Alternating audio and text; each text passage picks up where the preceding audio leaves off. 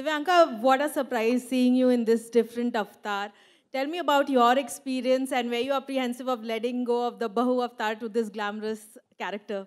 It was pretty challenging, especially because, uh, as I said earlier, that uh, Ishita kahin na kahin zinda thi mere andar, abhi bhi hai. Aur uh, uh pushing her off and building up a new character. So for that, uh, the way they had written it, conceptualized it, it was it was amazing. There was a huge transition between Nitya, like from her past years to present, and to do that, उन्होंने बहुत मेहनत की है डॉरस specially मेरे साथ hair dressers के साथ में मीटिंग करना मेरे हेयर कट्स के लिए जाना। ड्रेसिंग पे इतनी ब्रेन स्टॉमिंग की है डॉरस ने hats off to her and कई बार ऐसा लगता था और कितना dress trial but it just went on and on and on just so that I don't look like Ishita at all so कपड़ों में हेयर स्टाइलिंग में then we had workshops with Pradeep dada हम उनके उनके studio में जाते थे, वहाँ पे हम वॉइस पे काम कर रहे थे। एंड उन्हें किस तरह से कैरेक्टर चाहिए है, वो नित्या को कैसे देखते, उनका एक अलग पर्सपेक्टिव था। एंड देन एकता का एक अलग पर्सपेक्टिव था, जो थ्रू क्रिएटिव्स हम तक पहुँचता था। तो उन सबको मिला के ये एक नित्या बनी है।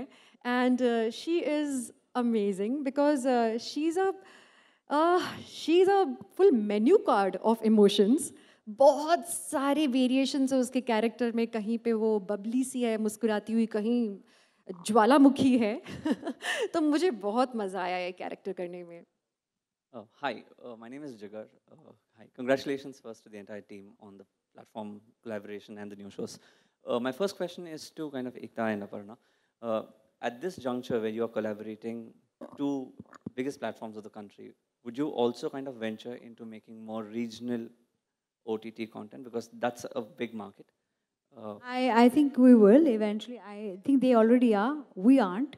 So, uh, and it's mostly our content on their app and on our app too. Uh, to make regional content, I would want to, I'd have to have a much bigger base. I'm a startup as, as now. So uh, they're continuing doing that. I will take some time. Great. Uh, my second question is to team uh, Mission Over Mars. Uh, this is a milestone achievement from the, from, the, from ISRO and obviously now you guys are doing. So one, what were the challenges that you guys faced during the research to the team that has written? And second, what were the emotional moments that you kind of had while you were kind of filming the entire thing? Okay. Uh, so research was obvi obviously extensive because if you are making something which is based on recent past, you know, so there is information in public domain, so you can't go wrong with that. At the same time, since you are making it for the audience, so the entertainment quotient has to be maintained as well. So we just tried finding a balance between the two, and I think we did pretty well, right? Yeah.